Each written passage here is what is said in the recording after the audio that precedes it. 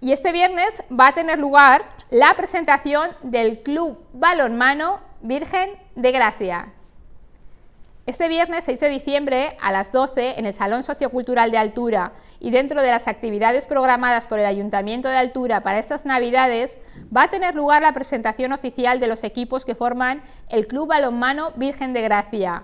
Dicha presentación contará además con una gran batucada, speaker de la Liga Sobal, sorteo de premios, paella de convivencia y muchas cosas más.